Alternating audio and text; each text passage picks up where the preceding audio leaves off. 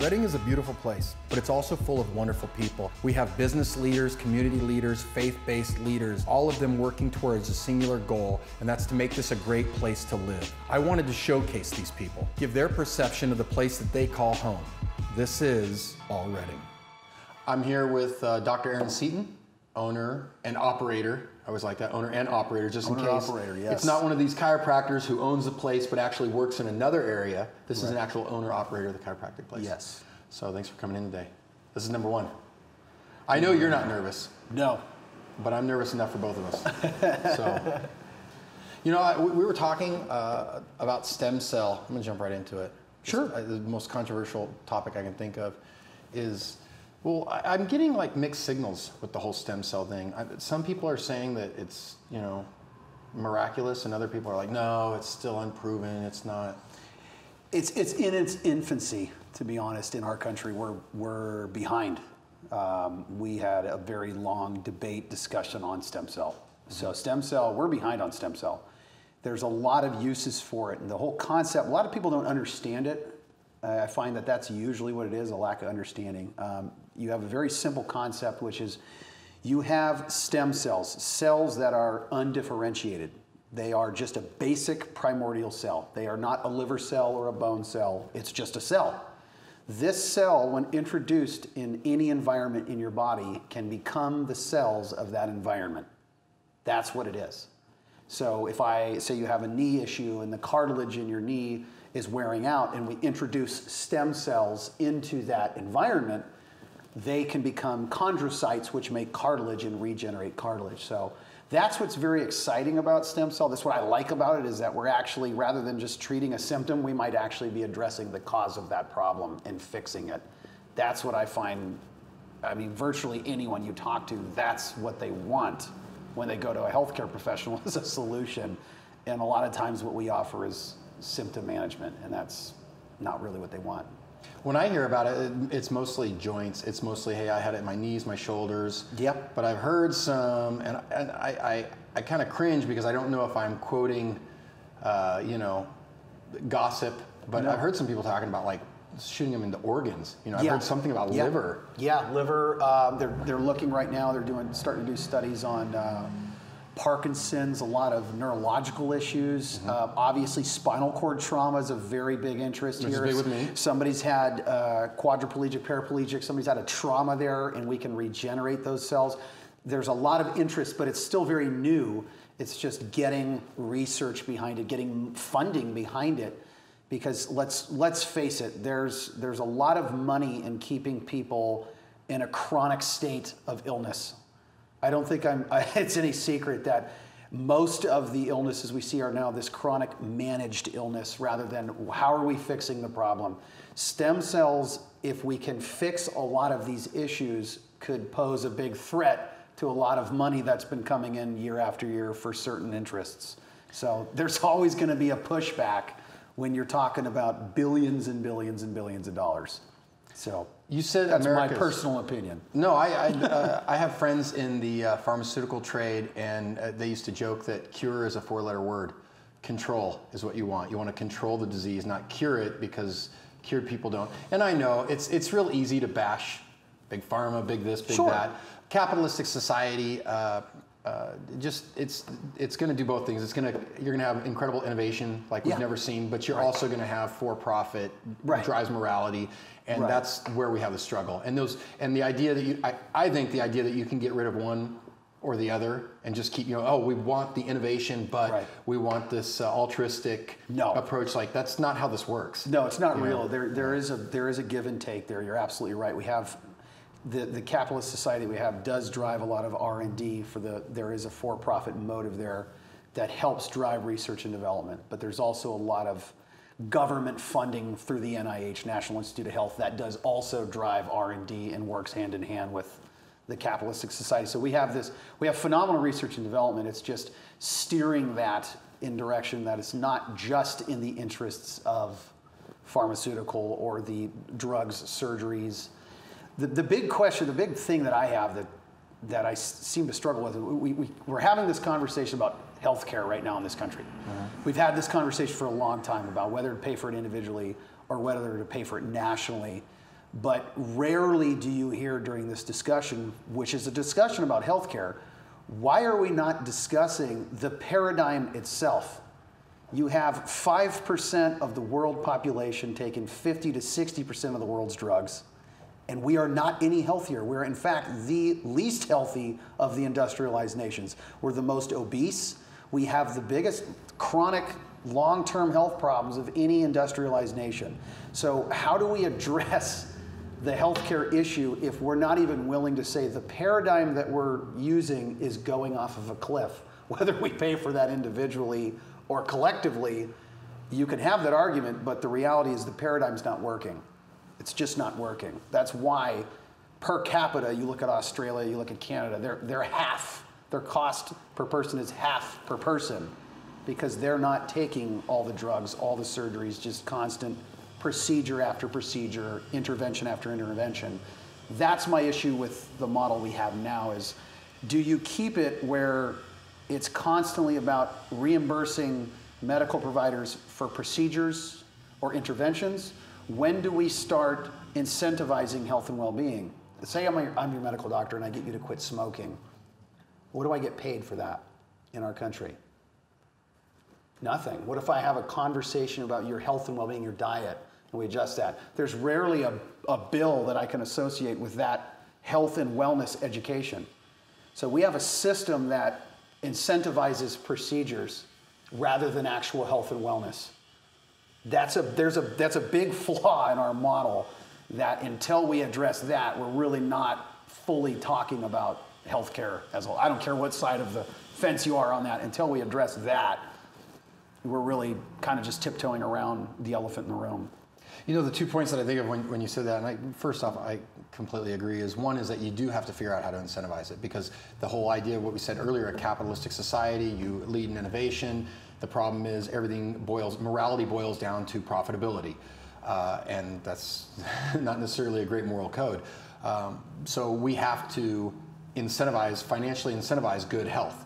And that, to right. me, that's how you spin that model around. Instead of incentivizing controlling the disease, you actually incentivize curing the disease or maybe even being proactive and, and attacking the disease before it, you even get the disease. Sure. Healthy life choices.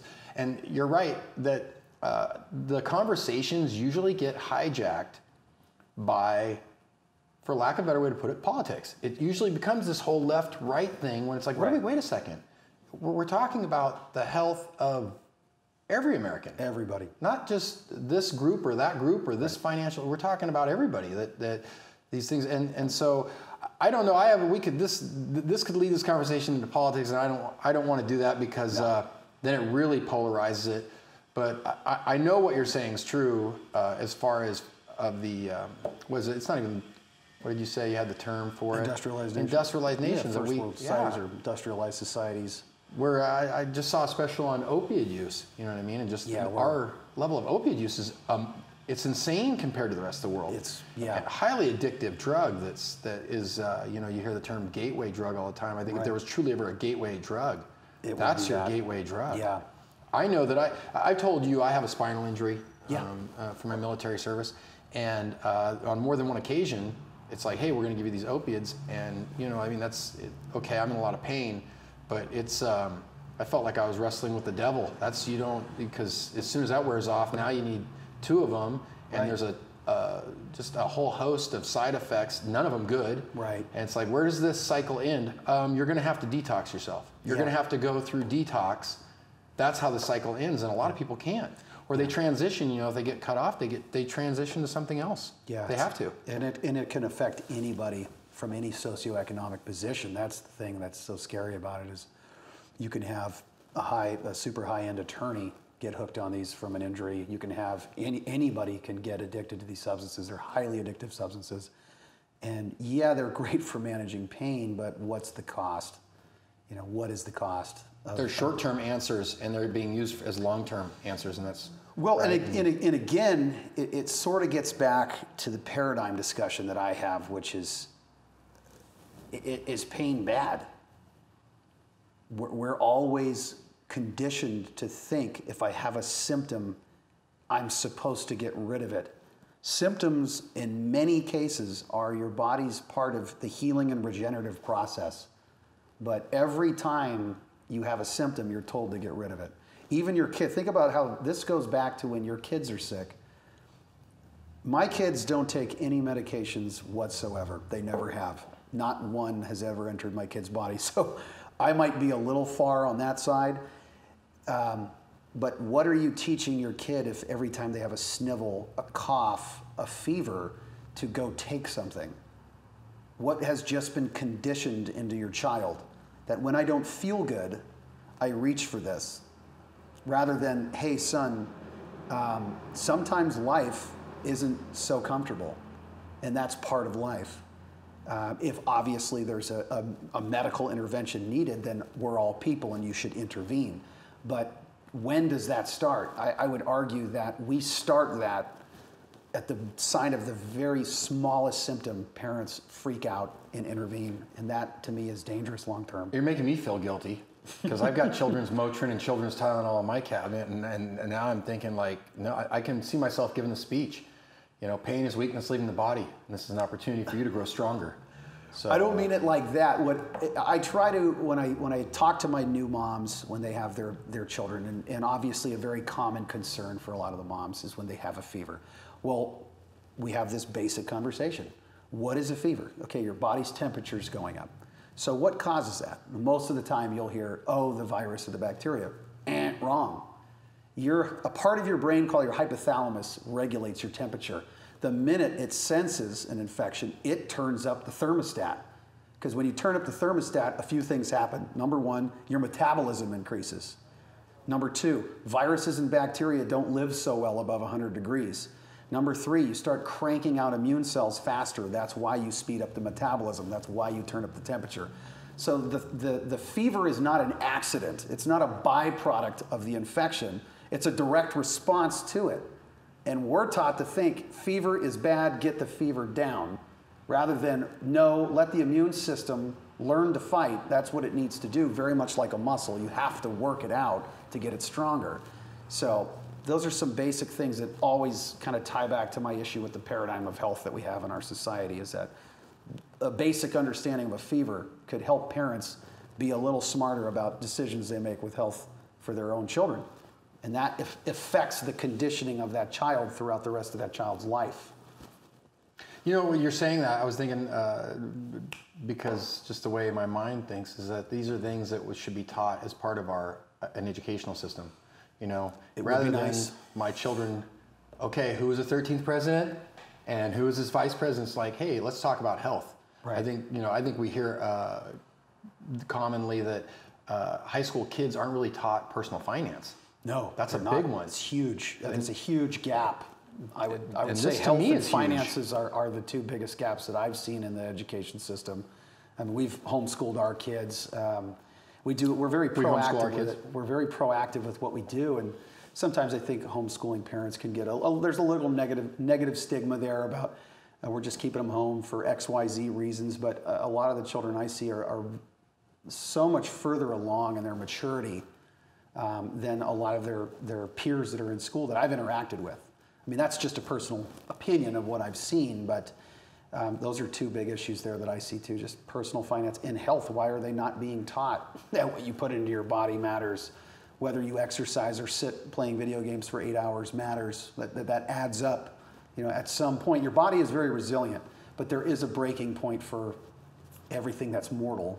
You know, your body will resist smoking for decades. It'll resist poor diet, drinking. It'll resist all of our stupidity for decades. But at some point, you know, you're going to have to cash that check you've been writing for a long time there. So, so there's hope for me. Is that what? Is that what's that? There's always. I hope. heard a message of hope in there. There's always hope. That's the cool thing about what I get to do is like I love like patients I, get they're like, well, aren't you sad that you don't get to prescribe drugs? No, I'm thrilled. I don't want anything to do with that. Not that it's wrong or that there isn't a time and a place, but I don't want anything to do with drugs and surgery. I have to help you naturally. That's what's so cool about it. It's it's your body doing the healing when I'm adjusting you. Your body responding to the care. That's what's so cool about it is they get they get this sense of empowerment again that it's not always something needs to be done to you. It's just we need to turn on what's right with you rather than always try to fix what's wrong. Does that make sense? Address the problem versus the symptoms. Yeah, and then allow the body time. You want to regenerate millions and millions of new cells from this old injury. Well, guess what? That takes time. You know, we, we have a I want it now culture, and that's just not real, especially as we get older. It takes longer amounts of time for us to heal, but that patience and understanding will get you through. I mean, I haven't taken pain medications for anything. I, I don't take anything ever for years and years and years. And it's just learning patience that this is a process. Your healing is a process. Sometimes that takes a week, sometimes it takes six weeks. But there is a process. There are things you can do to encourage it, but you also have to learn patience. And that's, to me, part of being an adult. Your background's obviously combines uh, athleticism and academia. I mean, you went to school for what, probably seven plus years. Yeah, eight, you were an athlete years. in college. Not in college. I was. Uh, it's funny. You, you, had an injury, I though, was, right? That's how you got on this path. Yeah, I was training. I was. I boxed when I was younger, and I boxed for a few years, and that was the sport that I loved. Um, not exactly a team sport or something most people want their kids to do, but that's the sport that I loved. I enjoyed that. I, I enjoyed that. If I got beat up, that's on me. You know, you're you're in there alone. You're you're in there in the ring alone. So I liked the fact that it was a very individual sport. Let's not use the term control freak. Let's just control freak focus is right. on you. Yeah, no, you're you're right on the money. No. but that's that's what I did, and and then I, I went to school for eight years. Um, I did junior college, and then a, like a pre med pre chiropractic program that you have to do to get all your certifications done, and then went on to chiropractic college for four years. But you told me you had like an injury, you because you were on a different path. Yes, I And was. It was an injury that kind of sparked this. Yeah, I was injured at it was I think I was 19. I was 19 years old and I and I herniated a disc in my low back that was horrible to where I was dragging my left leg. I mean, that's how bad the nerve was being irritated. Um, I was losing control of the leg, and I went to the MD, and the MD was like, "Well, there's nothing we can really do. Just take medication, and there you go." Um, so, my girlfriend at the time was working for a chiropractor, and I had hadn't been, and she told me to come in and see him, and so I started going and seeing him, and just feeling so much better after I would get adjusted. I'm like, wait a minute, there's nothing we can do. And then he began to explain to me what what I was what he was doing, um, how the disc needed to move in order to heal. The discs have very limited blood supply, so they need motion to get nutrition from the bones above and below. So if I'm locked up, restricted, not moving right, how is that disc going to eat? So it was really cool learning this stuff at 19. I thought I was really smart on health and exercising, and then you learn these new things, and you're like, wow, this is amazing.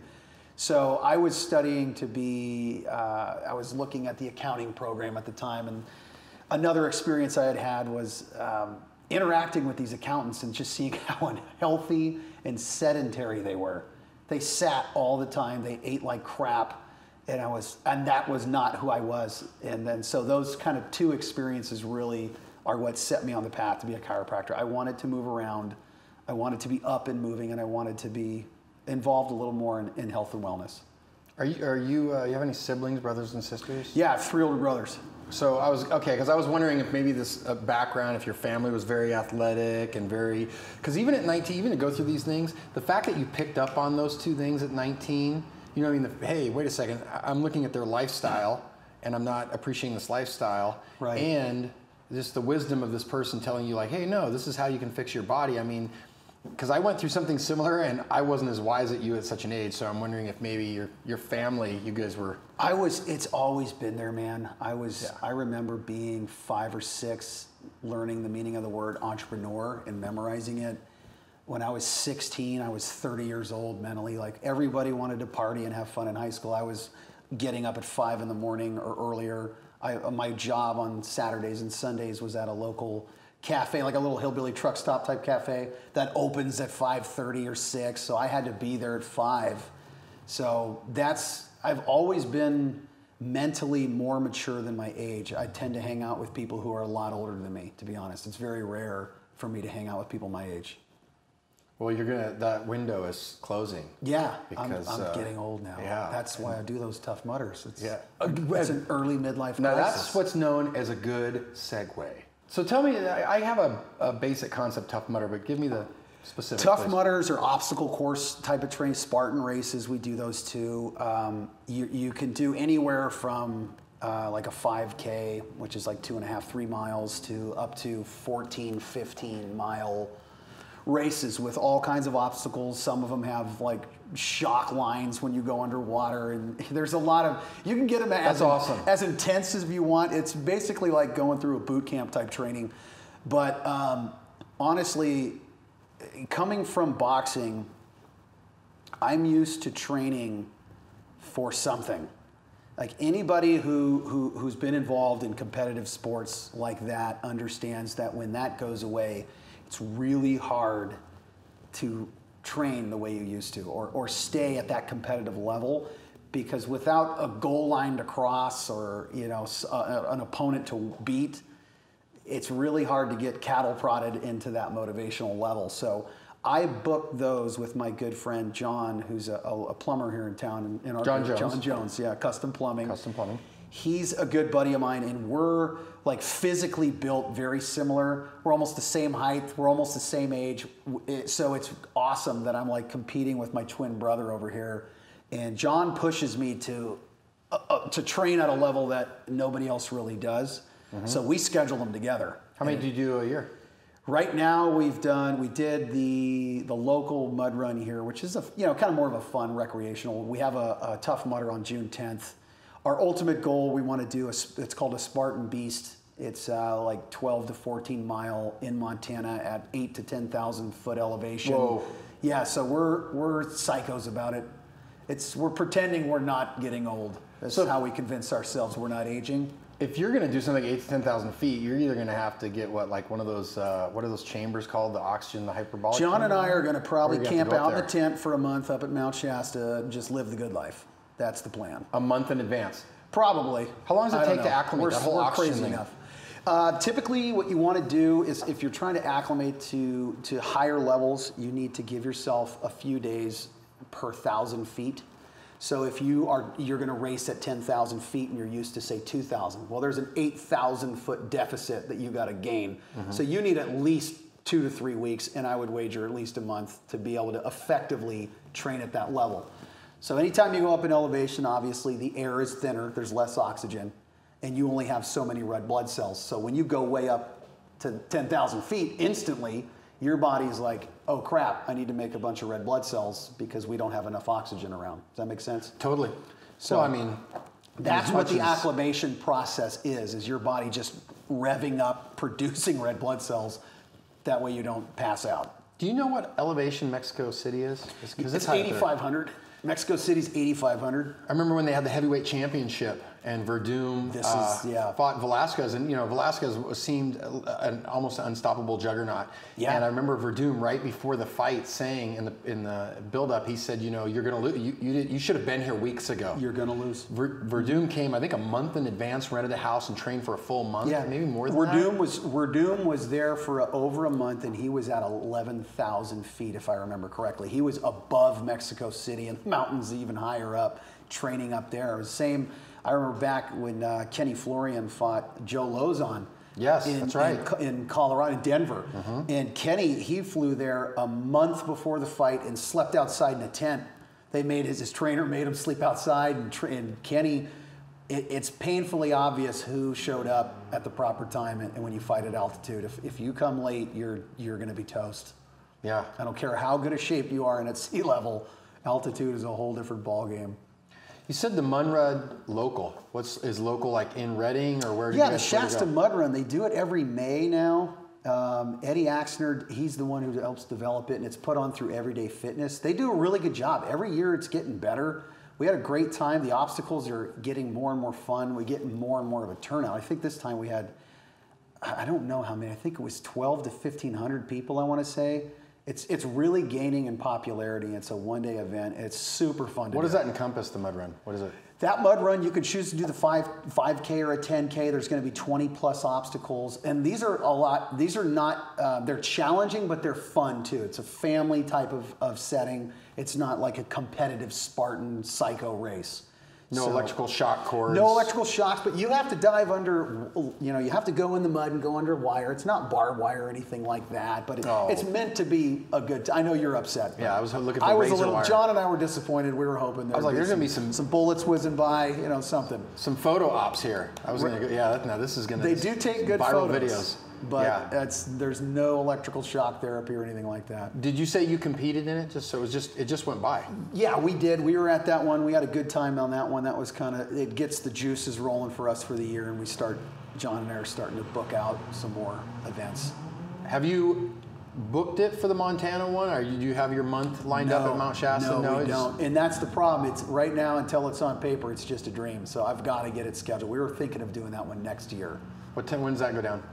That one I don't know. I'd have to look, but they scheduled those way out. Montana, you'd think it would have to be uh, summer months, right? I would assume it's, not going to be in June or July or something because they're not going to be pulling that one in February or something like that.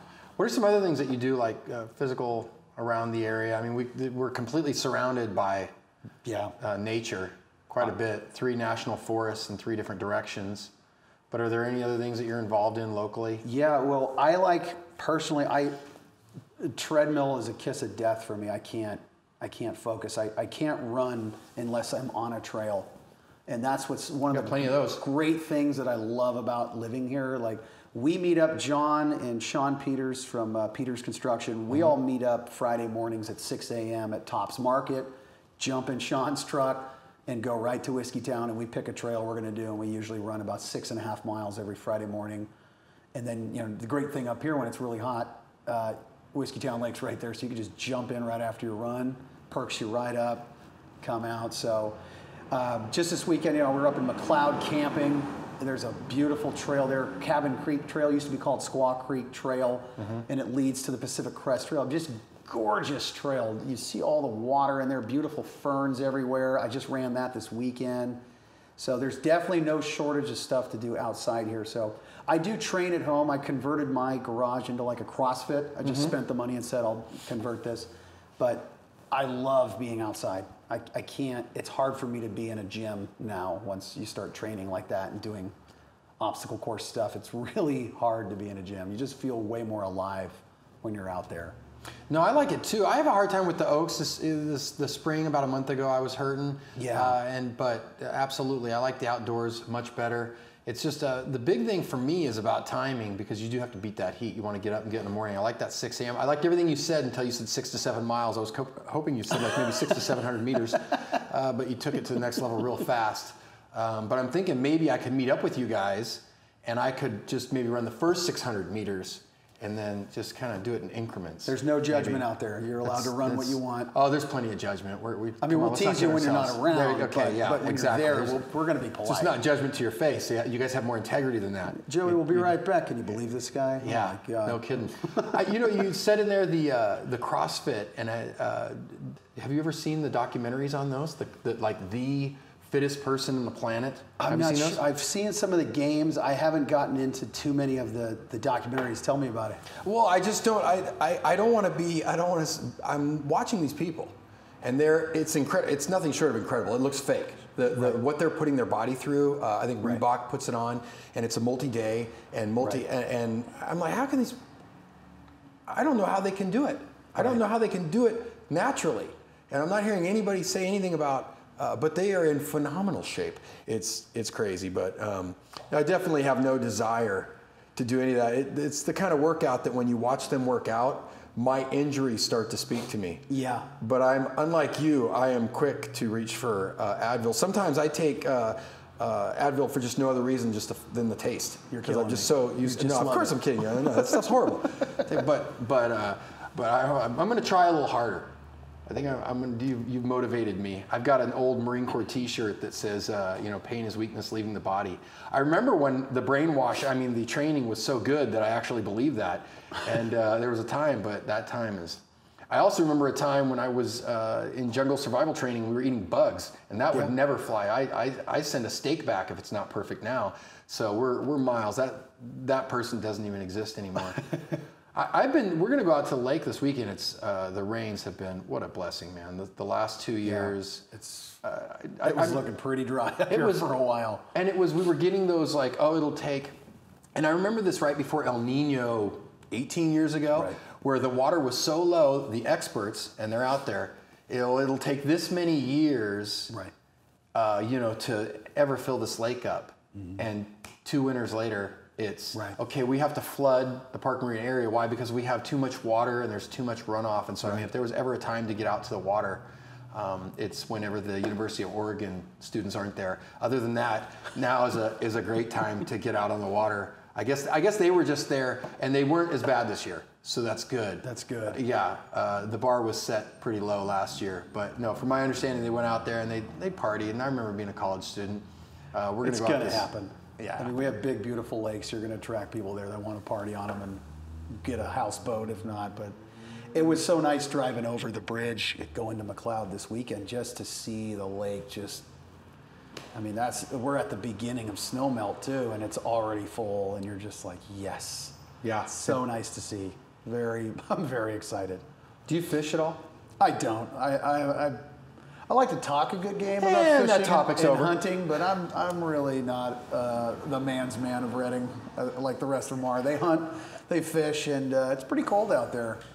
Well, speaking I for all the courses. men, That's uh, about it.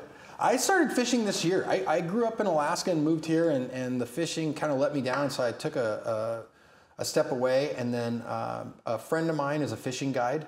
Oh, nice. And so uh, he, he'd been, you know, nudging me, come on, come on, let me take you out. So I, I got tags, went out with a buddy of mine, Jeff, um, and we went out on the Sacramento, just around Turtle Bay Bridge. Now, this was last summer when the season, because I, I, I don't even know the seasons. That's the other thing. It's like, oh, no, you can't fish here. It's, you know, you got to fish over there. Right. Um, that's what the guide's for. But it was awesome. We did fly fishing. It's the first time I've ever done fly fishing in my life. Nice. And we went out and, uh, you know, I told people my experience. And they were like, what? Your first time? It was all the guide. I mean, he's like, no, do it this way. He gave me uh, lessons. He obviously set everything up. Right. He took it to the next level. He he he moved the boat and he's like, see that right there? Throw your line right there. You know, this is the fish like to come in when the water swirls and you know Right. And and so anyway, we we caught several trout, did a catch and release, and it was trout season. awesome. Oh, it was yeah. It took great pictures, and he he bothers me. Bothers me almost every day with like, hey, we gotta go out, we gotta go out. It's salmon season. It's this. It's steelhead on the Trinity. So I'm, I, I don't get to fish as much as I'd like to, but it re-sparked that uh, that fire that got kind of squelched when I first moved here and went to Anderson River Park to to catch bluegill. I'm like, after after halibut and salmon fishing in Alaska, Yeah, I was like, like, no no. thanks. But you know that sparked a. Uh, I'm not a hunter either. You know, I haven't. Uh, but it sparked this thing where I I don't know why uh, I have this sudden urge to go to Wyoming and shoot elk. I, I think here, you, you got to turn in your man card if you don't, and I'm, I'm getting close to the expiration date too. So Yeah. Well, no one pressured me. Just something about catching the fish. Suddenly, I wanted to arc all the way to. Yeah. You know what I mean? It's No, like I got in a slap fight now. in an alley, and then suddenly I'm calling out the champ, and I'm like, You're you in know, Redding now. Uh, I, I want to know. They'll all Let's talk. You hear their conversations too. I hear the guy like, "Hey, I got this six point this and that," and, you're, and you just have to smile and nod and pretend you know what they're talking about. But I don't. But all the guys around here are really into hunting and fishing, and I'm just. Uh, so you and I are going to have to do it together then. I told my wife, I told her this. I said, hey, I have this this weird desire to do this. She was like, what? And and I said, and, and you know what else? And this might have been the red wine talking because I think the more I think about it, I think I, I, I About three glasses in. Yeah, I was uh, three three finger glasses of uh, Pinot Noir, and uh, which goes completely with elk hunting. You're not supposed to tell people you drink Pinot Noir in Redding either. That's so it was Scotch, and it was uh, I think it was go. Ardbeg Scotch, It was is a local brew from a local brewery, and I filled a jug they gave me. There Yeah. you go. So, uh, and I said, you know, I'm pretty sure if I kill this animal, because I'm, I'm you know, I got, I'm, I eat meat, so I, I can't, I can't stand on ceremony. And uh, I said, I'm gonna have to eat its heart. Like you know what I mean? Like right when I kill it. You're going and so I was kind of like, oh, I was psychologically prepping myself. So I Nice. so I rented Legend of the Fall. You know what I mean? Yeah, you gotta get sucked- Yeah, I was totally. I was like, okay, Little Brad I'll- Pitt. yeah, totally. You sure. And then which then got me a Fight Club, right? Oh, no. So I was like, okay, Netflix sent both of them, huh? maybe instead of a rifle, I kill this elk with a knife. And uh, so then it, it just came full circle, and I realized I should probably just stay local and fish for trout would with the fly you- fishing. You're aware of how large an elk is, right? Yeah, yeah, within reach. Okay. Bigger than me. They they uh, they could they fight back from what I hear. Yeah, but they're real slow, right? They're real slow and I don't they know. somber, so I, I could probably know. catch them in deep snow if I was running uphill. Got long legs. They got a reach advantage. If they start jabbing you, it's going to be a long night. I go to spinning class three days a week, so That's pretty good. You know what I mean? That's I pretty manly. I feel like I could probably wait a minute. I, I felt that that's, to that's that I have to boxer. That's the jab. You got to establish the jab You got early. the, you got the jokes coming out now. Yeah. Uh, so no, I I I, uh, I I would like to race in Tough Mudder if it meant June 10th. If it was Got a a seat. stationary bicycle in a room with disco and air conditioning. Nice. And they bring a towel. Where I go, they bring a towel with like I think it's uh, eucalyptus and mint, and it's ice cold. Very cold. And so at the very end, they come in with the towel. You're ready for Wyoming, man. I'm- I don't know what anyone else is telling you, but you need to pack and go to Wyoming and I was the thinking the same thing. hand. I was thinking, but you That's know, the, all the training you need. I can't find any first class flights to Wyoming, so I'm just I'm kind of caught with this. No Pinot Noir on this flight? conundrum. Unbelievable. They're going to have in first class. They're going to have Pinot Noir. Like- apparently, you haven't flown first class. No, I this- haven't. This, No. isn't a Chardonnay flight, sir. this is this is well because you should know about wine, didn't you? You're Sonoma or I'm- Napa? That's the thing. That's probably why I don't hunt. I'm from Sonoma, so we know about. I know, for a I know Burgundy. about wine. Yeah? Like, uh, your, What do you know? Your wife will have fun talking to me about wine, but about I'm the wine drinker. No. I'll order elk if it's on the menu at the five star restaurant. Yeah. If that helps out. with a nice uh, Béarnaise sauce. There the- you go. Yeah. No, I, yeah, being down there, I love it down there. It's every time you're, um, every time summer kicks in around July, I'm ready to go back and visit Sonoma. Just the weather there is, we're, we were spoiled down there. Yeah. Yeah, anytime I left that area, you're like, this is what people live in. Yeah. Went to Texas in June one time. That was a good idea.